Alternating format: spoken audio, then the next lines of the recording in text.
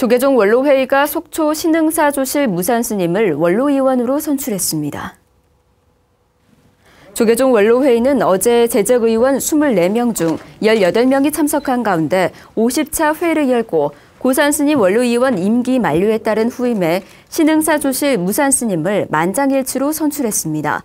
이어 12.7 범난으로 고초를 겪었던 청담 문도회 문장 혜성 스님의 대종사 법계 특별 전형을 만장일치로 통과시켰습니다.